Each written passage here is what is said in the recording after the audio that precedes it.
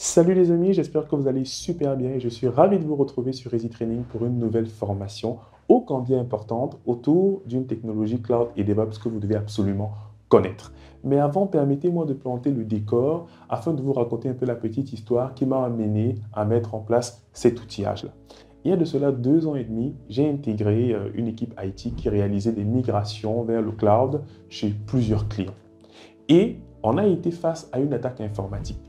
Petite parenthèse, généralement quand j'introduis mes formations, je raconte toujours en effet une petite histoire et les gens pensent que c'est moi qui suis à l'origine des incidents qui ont fait en sorte qu'on mette en place l'outil. Non les amis, je n'y suis pour rien. Je suis un bon IT. Bon, en tout cas, de nos jours. Parenthèse fermée. Donc, nous avons fait face à une attaque sécurité qui a fait en sorte que les attaquants ont pu prendre la main sur certaines des machines virtuelles que nous avions déployées en l'occurrence sur AWS. Et lorsqu'on a fait le post-mortem, on a analysé ce qui s'est passé, on s'est rendu compte que c'est parce que certaines équipes avaient utilisé des images pour leur machine virtuelle qui n'étaient pas standardisées, qui n'étaient pas conformes aux besoins de l'entreprise. Et c'est là où on s'est posé la question, comment faire pour standardiser l'ensemble des operating systems qui sont utilisés par les projets?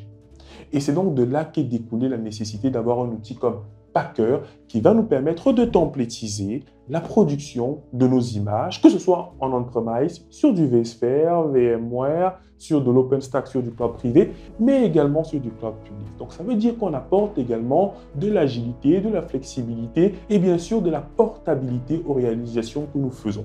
Donc, si j'ai un fichier, par exemple, qui me permettait de déployer sur, euh, donc créer en fait mon image sur AWS, mais du coup, je pourrais utiliser à peu près le même fichier pour déployer sur euh, Azure. C'est le même principe que nous avons vu notamment dans la formation Terraform qui nous permet en gros de faire du multi-cloud. Mais trêve de baradage les amis, entrons dans le vif du sujet pour comprendre comment est-ce que vous allez faire pour atteindre vos objectifs, notamment grâce à cette technologie. L'une des difficultés que nous rencontrons énormément en entreprise, c'est la reproductibilité des infrastructures. Je prends un exemple, je suis en train de coder et j'ai envie de tester mon application sur un environnement proche de celui de production. Généralement, ce que le développeur fait, c'est qu'il essaie de créer une machine, il installe les outils comme il veut et malheureusement, ça ne correspond pas à ce qui est en production. Et dans ce sens-là, Packer va donc nous permettre de créer des images génériques qui pourront ensuite être euh, ardonnés, qui pourront ensuite être mis au goût des projets, mais on aura au moins une traçabilité de l'évolution de, l'image et bien sûr la possibilité de la distribuer à l'échelle à partir d'une même source. Donc ça veut dire que Packer est très intéressant pour permettre la reproductibilité de nos infrastructures. De l'autre côté, il va aussi nous permettre de pouvoir installer les outils d'administration sur nos machines. Et lorsque nos VM seront donc déployés, par exemple, sur AWS, vu que c'est le cas de la formation, vous pouvez appliquer les concepts sur d'autres types d'infrastructures dans le cloud ou alors on-prem. Il nous permettra ainsi de pouvoir donc installer les outillages nécessaires pour les backups, pour le monitoring, pour la gestion des logs, pour les antivirus. Et ainsi, les projets vont se baser sur ces images-là pour ensuite produire les leurs. Et comme ça, on assure l'intégrité du système d'information. Et en quoi va consister cette formation Afin d'atteindre nos objectifs, nous allons suivre un canevas simple mais efficace et qui va vous permettre au terme de cette formation de pouvoir concrètement mettre en place des templates Packer pour industrialiser la production de vos images, que ce soit vos images de type système, que ce soit vos images de type applicatif, et ça vous permet ainsi d'accélérer vos livraisons. Alors, nous allons commencer dans un premier temps par la présentation de la formation. Vous avez l'habitude, on va indiquer les prérequis. Pour cette formation, c'est important quand même que vous ayez les bases sur AWS, même si je reviens sur certains concepts. Que vous ayez aussi les bases sur Docker, et également sur Ansible, c'est vraiment un plus, même si je réexplique ces concepts-là. Ceux qui ont les bases pourront facilement comprendre certaines notions avancées que j'aborde dans le cadre de cette formation. Ensuite, on fera une introduction à Packer. On verra en effet que c'est un outil open source qui nous est proposé par HashiCorp, au même titre que anciennement Terraform entre guillemets, et Vagrant également. Et donc, on verra comment écrire nos premiers templates Hello World en parlant notamment de la notation de type HCL et de type JSON. Donc désormais, c'est HCL qui est privilégié pour l'écriture de nos templates de production de nos images. Donc on évoquera notamment la notion de variable, de locals, de data source, vraiment les notions de base. Ensuite, nous allons aborder concrètement l'aspect production de l'image. Et dans ce sens-là, on verra la notion de builder qui sont simplement des plugins qui permettent d'indiquer à Packer comment provisionner, comment créer l'image sur un cloud provider particulier. Donc, avec le même code, on est capable de produire des images sur différentes infra, mais il faudrait que Packer sache comment est-ce qu'il va discuter. C'est le même principe, comme je le disais encore sur Terraform, où il faut installer le provider qui va bien. Mais on reste à peu près sur 90% le même fichier de template. Donc, on évoquera quelques providers intéressants et celui que l'on utilisera, ce sera AWS et bien sûr Docker pour produire des images deux conteneurs. Donc, on produira deux types d'images dans la formation. Alors, bien évidemment, dans la partie présentation de formation, j'aurai le projet fil rouge que je vous indiquerai. Vous savez, les formations sur Easy Training, le but n'est pas de vous montrer tout ce qui est possible sur la technologie. Sinon, vous pouvez aller lire un livre et ça suffira largement.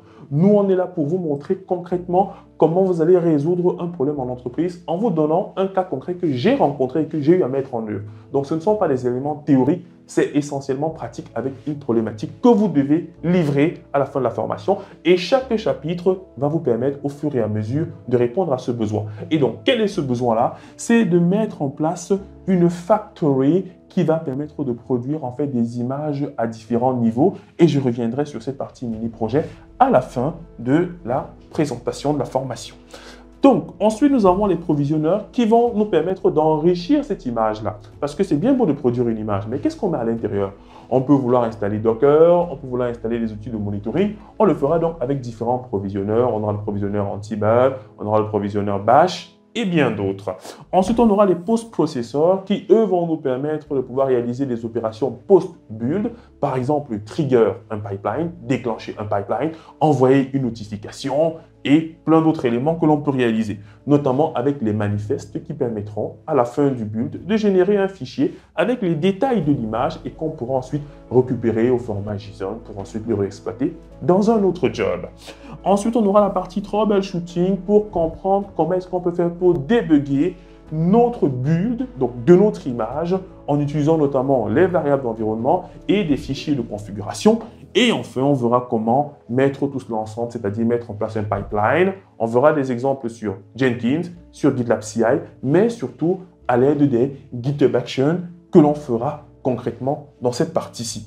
Donc, en gros, dans le cas de cette formation, vous allez être à même de mettre en place une factory qui va produire en continu vos images d'OS, mais aussi vos images applicatives. Et nous allons maintenant voir quel est le résultat que vous allez atteindre Cette golden image sera utilisée ensuite pour builder la middleware image. La middleware image est tout simplement l'image qui va contenir, en l'occurrence ici, Docker. Donc Docker va constituer le middleware et donc nous permettre de produire une image qui pourra ensuite être exploitée pour créer la web app AMI, c'est-à-dire l'image en fait qui va contenir bien évidemment les outils de monitoring et Docker, mais aussi l'application qui aura été déployée sous forme de conteneur application venant effectivement de cette image-ci. Donc ici, on va faire un build, pas d'image de VM, mais de conteneur. Et donc, on aura un conteneur qui sera publié notamment sur ECR. Donc, une image qui sera publiée sur ECR. Et ce job-ci va donc faire appel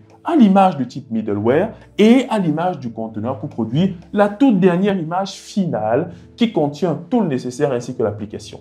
Et on fera des tests et on verra que dès qu'on lance une VM, à partir de cette image-là, directement, l'application est accessible et joignable. Donc, voilà la factory que vous allez mettre en place à la fin de cette formation. Tout ce que je peux vous dire, les amis, c'est que Packer devient un indispensable à connaître, même lorsque vous travaillez en local sur votre poste, pour aller vite dans vos déploiements. Donc, réaliser cette formation a été un plaisir pour moi et j'espère que vous prendrez autant de plaisir que j'ai pris à l'enregistrer, à la regarder et à la suivre. Merci à tous et n'hésitez pas à partager cette vidéo autour de vous. C'était Diran Tafen, votre formateur.